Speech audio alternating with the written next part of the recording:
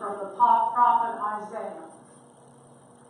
The people who walked in darkness have seen a great light.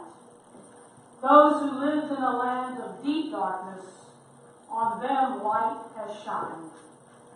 You have multiplied the nation. You have increased its joy. They rejoice before you as with joy at the harvest, as people exult when dividing plunder.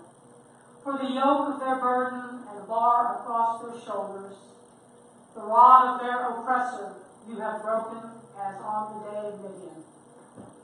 For all the boots of the trampling warriors and all the garments rolled in blood shall be burned as fuel for the fire. For a child has been born for us, a son given to us. Authority rests upon his shoulders, and he is named Wonderful Counselor, Mighty God. Everlasting Father, Prince of Peace. His authority shall grow continually, and there shall be endless peace for the throne of the righteous from this time onward and forevermore. The zeal of the Lord of hosts will do this. To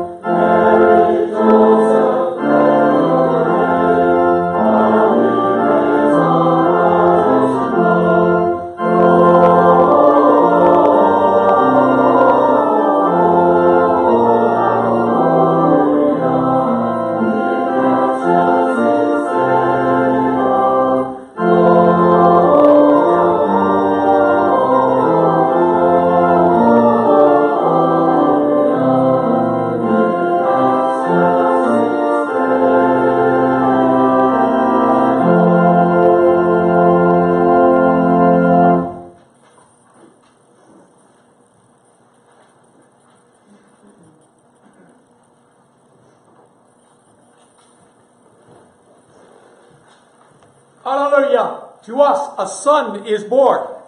Come, let us adore him. Hallelujah. The Lord be with you. And also with you. Let us pray. Almighty God, you have given your only begotten Son to take our nature upon him and to be born of a pure virgin.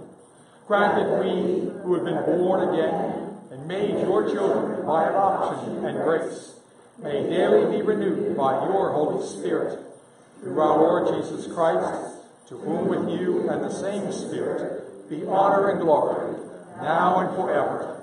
Amen.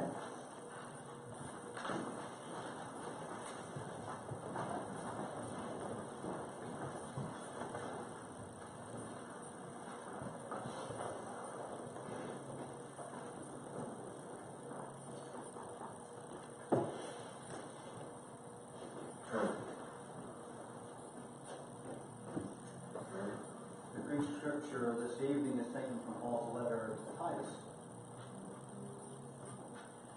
The grace of God has appeared, bringing salvation to all, training us to renounce impiety and worldly passions, and in the present age to live lives that are self-controlled, upright, and godly, while we wait for the blessed hope and the manifestation of the glory of our great God and Savior, Jesus Christ. He it is who gave himself for us, that he might redeem us from all iniquity and purify for himself a people of his own who are zealous for good deeds. Hear what the Spirit is saying to God's people this evening. Thanks be to God.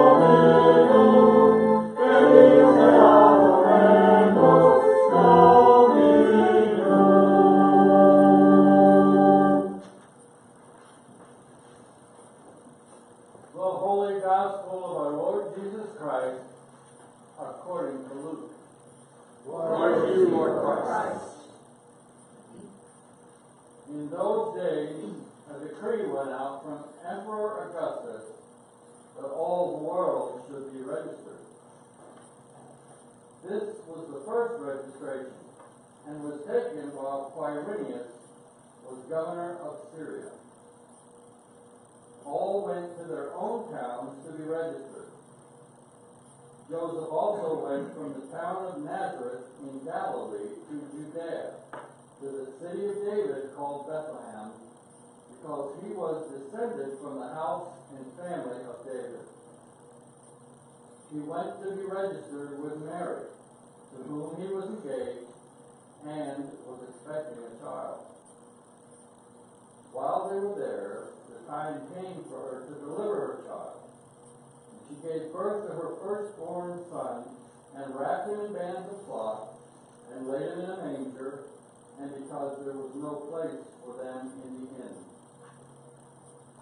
In that region there were shepherds living in the fields, keeping watch over their flock by night. Then an angel of the Lord stood before them, and the glory of the Lord shone around them, and they were terrified.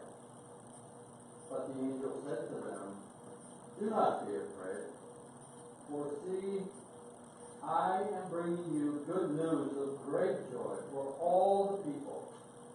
To you is born this day in the city of David a Savior, who is the Messiah, the Lord. This will be a sign for you. You will find a child wrapped in bands of cloth and lying in a manger. And suddenly there was with the angel a multitude of heavenly hosts, praising God and saying, Glory to God in the highest heaven, and on earth peace among those whom he favors. When the angels had left them and gone into heaven, the shepherds said to one another, Let us go now to Bethlehem and see this thing that has taken place, which the Lord has made known to us. So they went with haste and found Mary and Joseph and the child lying in a manger. When they saw this, they made known what had been told to them about the child. And all who heard it were amazed at what the shepherds told them. But Mary treasured all these words and pondered them in her heart. The shepherds returned, glorifying and praising God for all they had heard and seen, as it has been told them. The Gospel of the Lord. Praise to you, Lord Christ.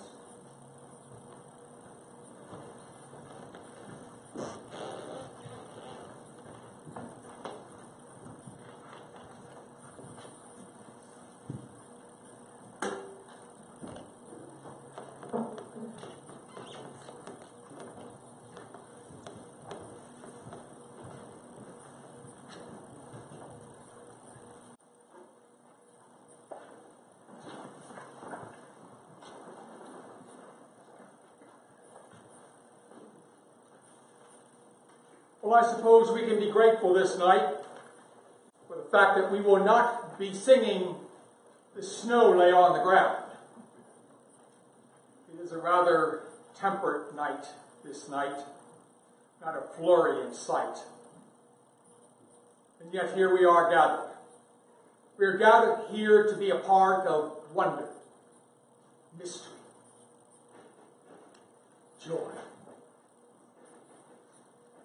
We're going to go home tonight. Perhaps we may go to bed right away, or we might have a, a little something. Or tomorrow, we will gather somewhere for a delightful dinner.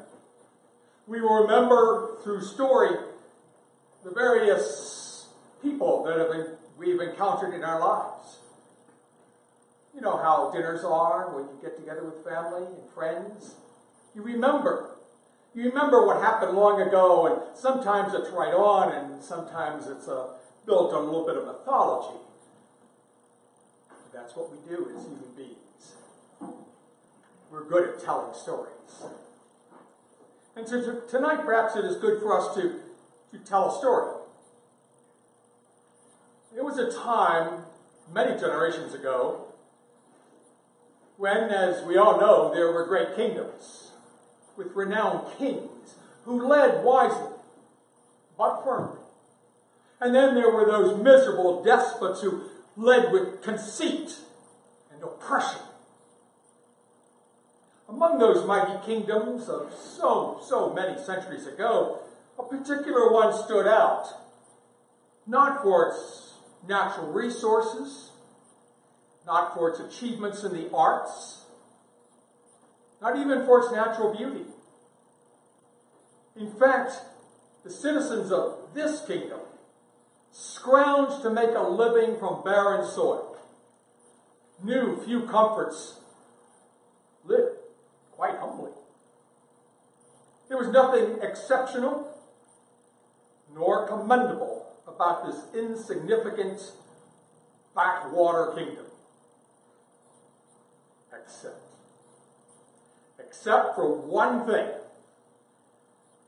There was one item, one item that resided in the royal palace, the pride of all the citizenry. And it was available for all to experience as an integral part of their collective identity. In a small room in the palace, were candles aglow in every corner of that room. Everywhere you could see candles all around. The only thing that was there in that room, in addition to those candles, was one little pedestal. Just a pedestal, very small.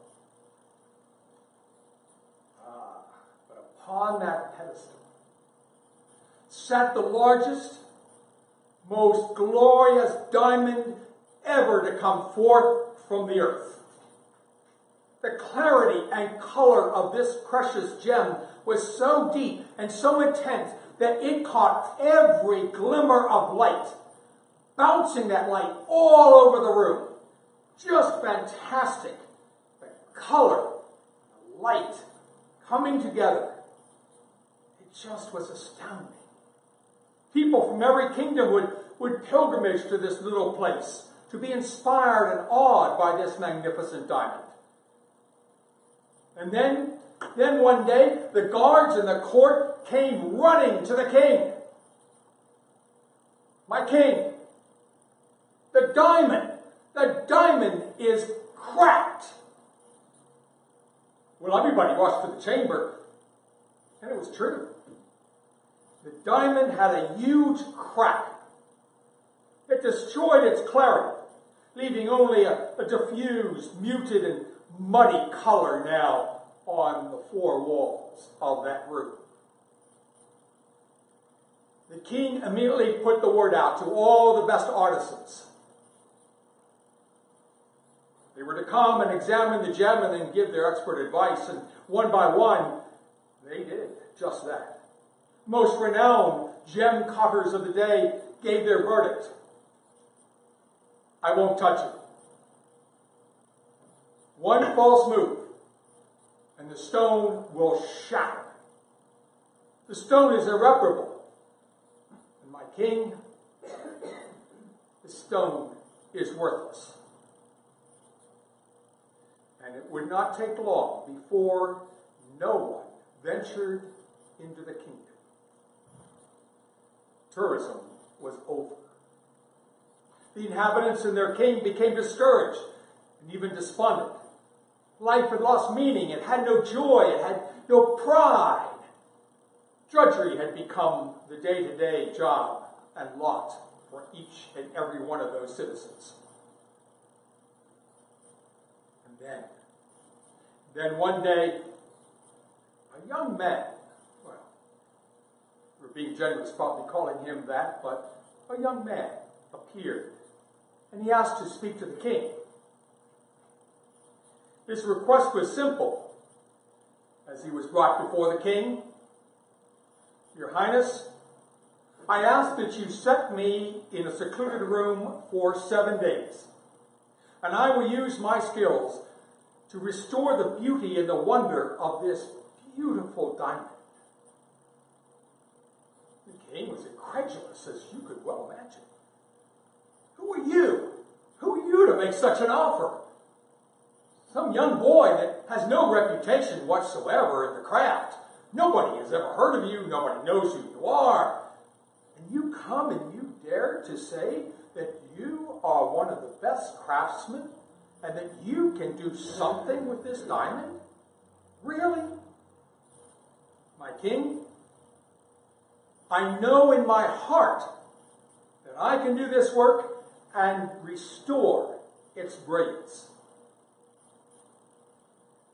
So the king relented, and he placed him in a locked room for those seven days. And on the seventh day, the door opened, and the young man emerged. He emerged from that room carrying the diamond, now shrouded in a velvet cloth. King and the court assembled. The young man pulled the cloth off the diamond. And they couldn't believe it. They gasped. They were astonished. There was no diamond. But there was a unique, exquisite rose with the light pulsating through every delicate petal. Young boy, with faith in his gift of restoration, had carved this wonderful rose using the crack of that diamond to produce its petals and its stem. He held it high for all to see, and there was indeed joy in the kingdom that day. What can I give you as a reward? The king said, I will grant you anything you ask. Anything. I ask no reward, he said. This is what I do. I take things that are cracked and flawed and even broken, and I make them whole again. This is what I do. All pushed in, surrounding that rose gem to admire its beauty.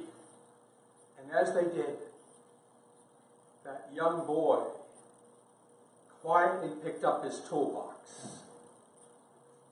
and departed the kingdom, never to be seen, never to be heard of again. Tonight, we celebrate a paradox. We come to celebrate good news, the joyful news of the Holy One, whom we have declared from old as wonderful counselor, mighty God, Prince of Peace. And yet, what do we come to? We come to a place of simplicity and quiet, a creche, a stable. We bring our fractured feelings, our flawed acts of life, even our broken hopes. We stand at the crib, admiring a newborn child who offers himself as one who makes us whole again. Joy to the world. That is upon our lips. For we do live with our flaws and our brokenness just as openly and boldly as we live with our hopes and expectations that Emmanuel, God with us, names us each name by name, restores our future, loves us freely and without reserve. The mystery of this night is the image of the Christ child who reaches out to embrace us to hold us as a parent tenderly holds that tear stained child, afraid, uncertain, unsure, but hoping, hoping to be loved and cared for. The Christ mystery this night is God embracing each of us. Each frightened and flawed human being. That's who we are. To embrace all of creation. To do so with a powerful, restorative, redemptive love. And so this night is the story that we own. A story that we own as we imagine being loved by God. Flawed, cracked, broken. But the story does not end there. For we are also gifted by the Son, Jesus the Christ. Wonderful counselor, mighty God, Prince of Peace.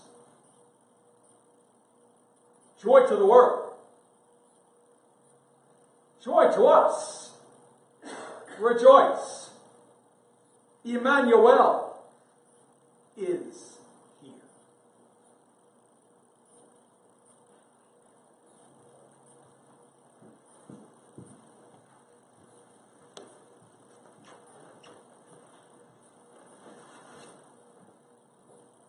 The prayers of the people.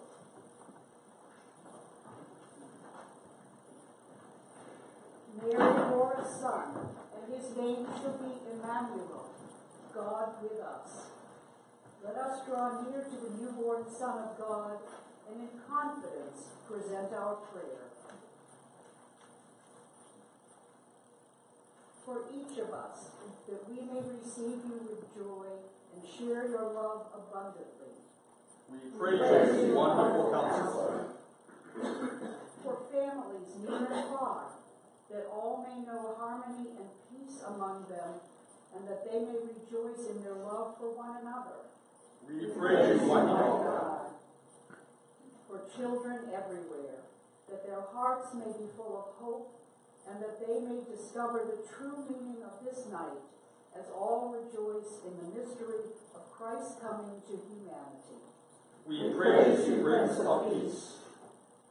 for the sick and the lonely, and for all who wander upon uneven or uncertain paths in their lives, that we may reach out to them as the Christ child reaches forth to touch and bless all of creation. We praise you, Emmanuel. I invite you to share your own prayers of concern and thanksgiving this night.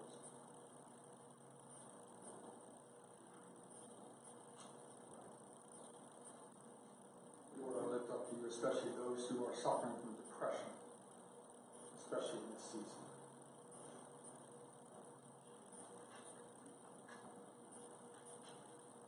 For those who are rebuilding their lives after the floods and fires of recent time.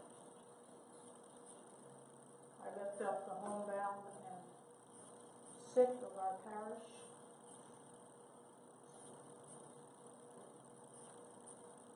I pray for joy to be within the families of our congregation.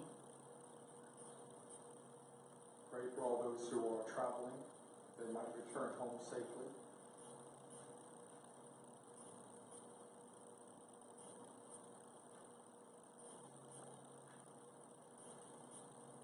Almighty God, you have poured upon us the new light of your incarnate word.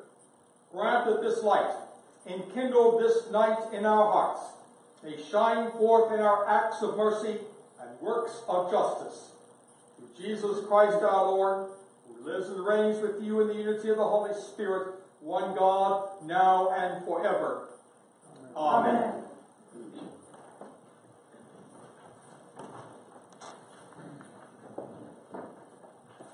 The peace of the Lord be with you always. And also with you. Let us share the gift. God's peace. Very God's peace.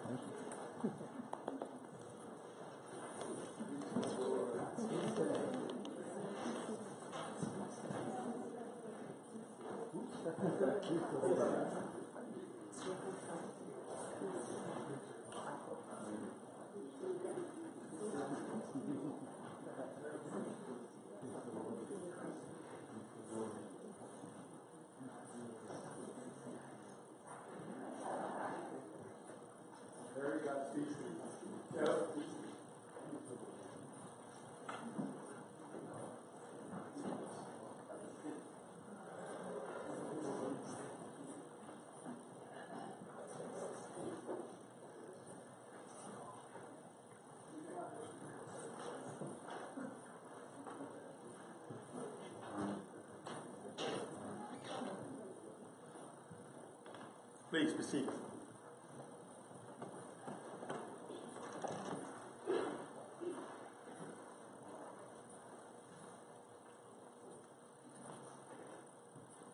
On behalf of the board and all the members of our congregation, I welcome you this night, and I do wish you the blessings of this Christmas, this Christmas season.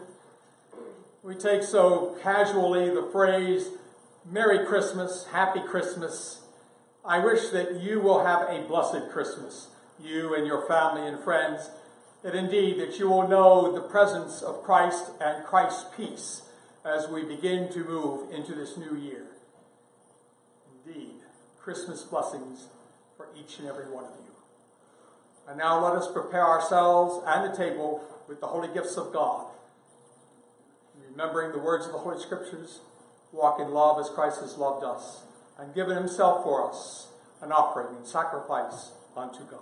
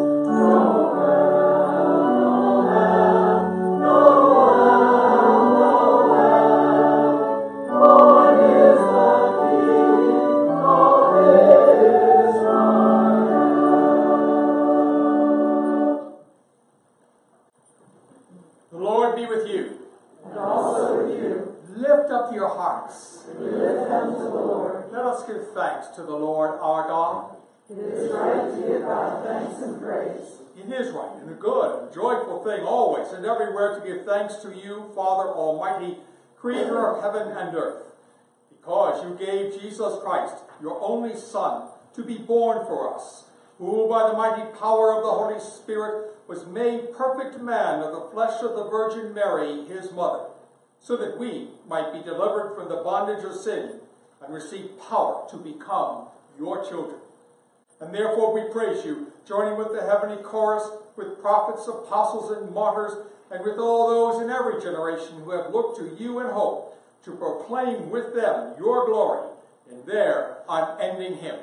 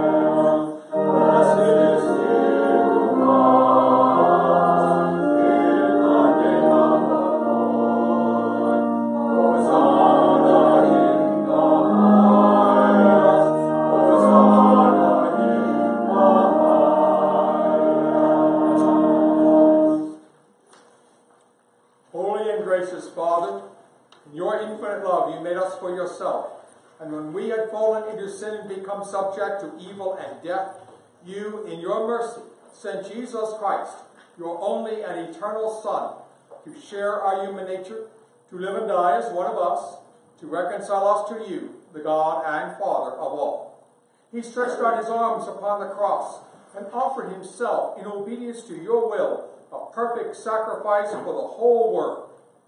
On the night he was handed over to suffering and death, our Lord Jesus Christ took bread, and when he had given thanks to you, he broke it gave it to his disciples and said, Take, eat.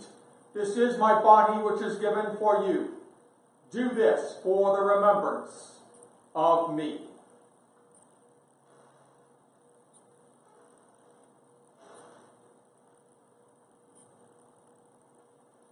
After supper, he took the cup of wine, and when he had given thanks, he gave it to them and said, Drink this, all of you. This is my blood of the new covenant, which is given for you and for all for the forgiveness of sins. Whenever you drink it, do this for the remembrance of me.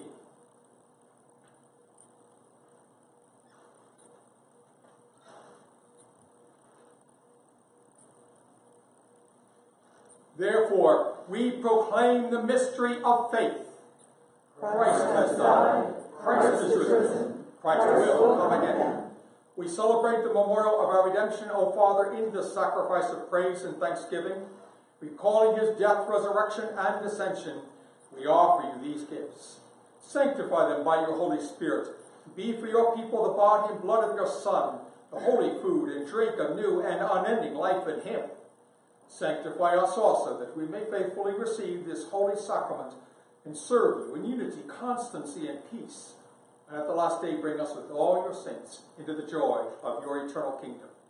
All this we ask through your Son, Jesus Christ, by him and with him and in him. In the unity of the Holy Spirit, all honor and glory is yours, Almighty Father, now and forever. Amen. Amen. Now, as our Savior Christ has taught us, we are bold to say, Our Father, who art in heaven, hallowed be thy name. Thy kingdom come, thy will be done, on earth as it is in heaven. Give us this day our daily bread, and forgive us our trespasses, as we forgive those who trespass against us. And lead us not into temptation, but deliver us from evil. For thine is the kingdom, the power, and the glory, forever and ever. Amen.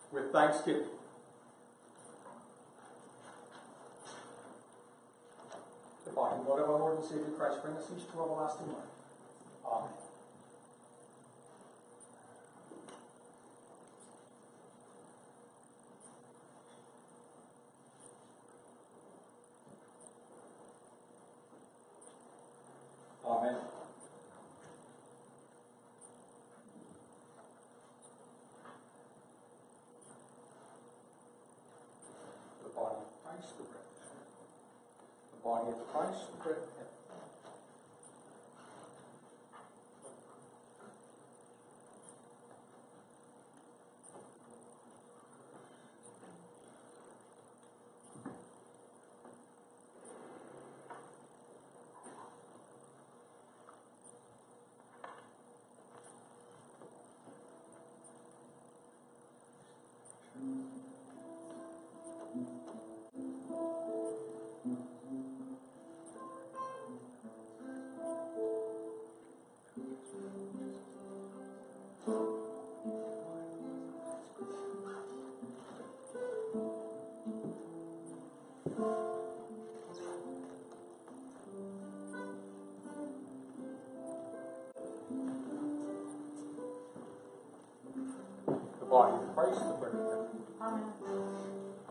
The body of Christ, the bread. The body of Christ, the bread. The body of Christ, the bread. The body of Christ, the bread. The body of Christ, the bread of heaven. The body of Christ, the bread. The body of Christ, the bread. The body of Christ, the bread. The body of Christ, the bread.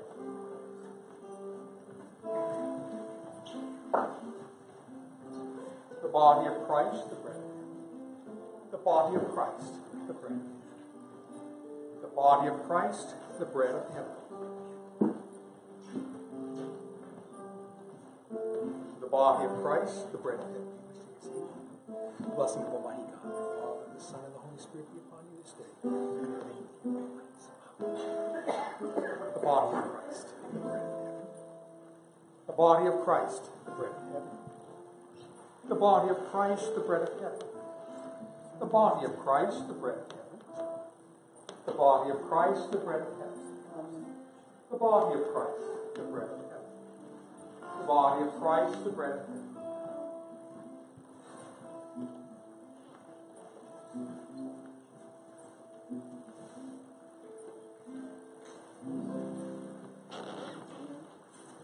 The body of Christ, the bread of heaven. The body of Christ, the bread of heaven. The body of Christ, the bread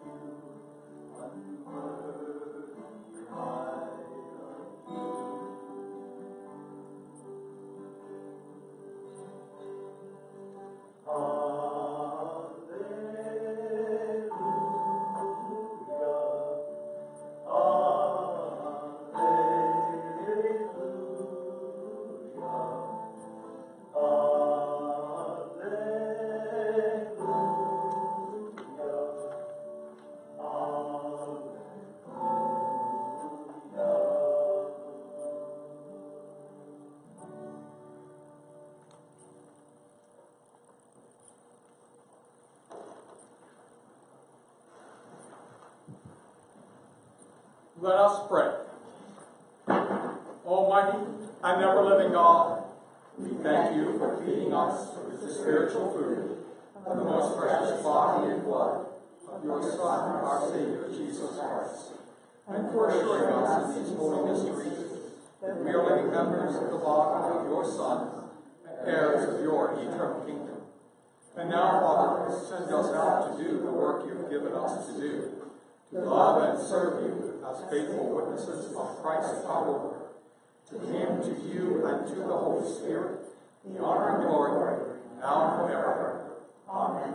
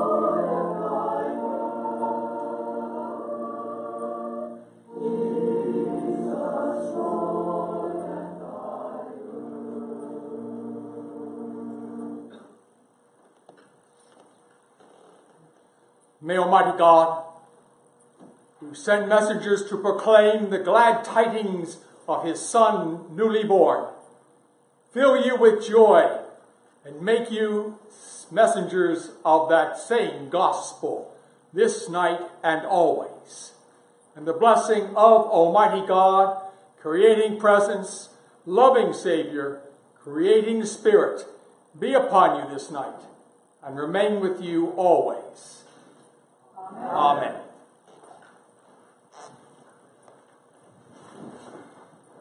Amen.